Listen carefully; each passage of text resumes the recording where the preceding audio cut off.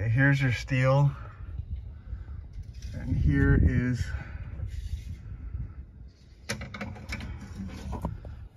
what's clearly a the bottom corner of some webbing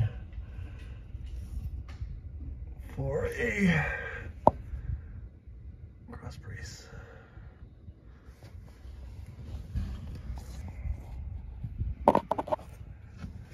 If you look, this is like up into the, you can see up there.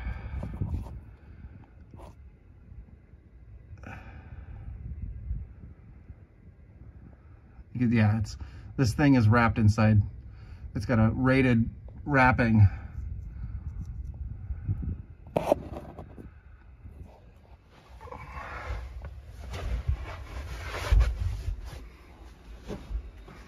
So that steel was going up this way. Yep, it's there.